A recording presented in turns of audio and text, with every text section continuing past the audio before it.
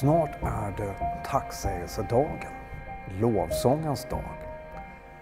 Ordet lovsång det kan väcka lite olika associationer. Ibland kanske man tänker på en viss genre av musik med kristna texter. Ibland tänker vi på ett visst moment i vår högmässa.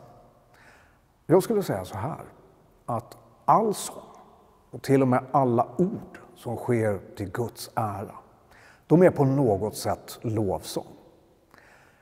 Vet ni att det fanns en gammal grekisk kyrkofader som tänkte sig hela universum, hela kosmos, som en lovsångskör. Och den här kören, den har tre stämmor.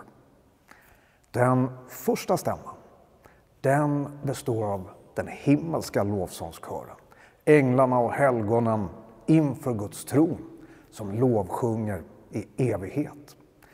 I äldre kyrkor, som här i Västerhaninge, där har vi ofta en sån här altarrundel med en sån här knäfallsbänk. Och den är halv.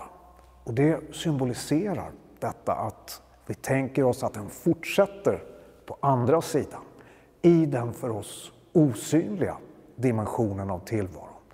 Där änglarna och helgonen ständigt lovsjunger Gud. Och vi tänker oss att de är hela tiden med när vi firar gudstjänst. Även om det är på ett för oss osynligt sätt. Det är det som vi sjunger i vår högmässa.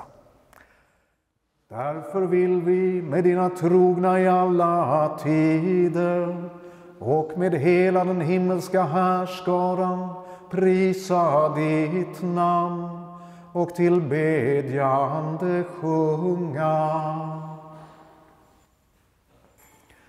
Den andra stämman, den sjungs av den levande skapelsen. Allt det vackra vi ser omkring oss, all naturens färger och former, fågelsången, skapelsens egen lovsång. Ofta kanske vi tänker i första hand på sommarens grönska och värme.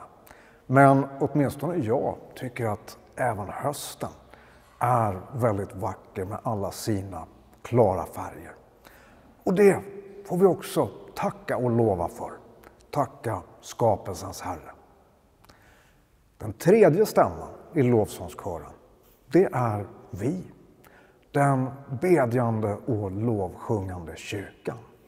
Den stämman, den får vi vara en del av. Och den lovsången, den pågår också hela tiden, oavbrutet.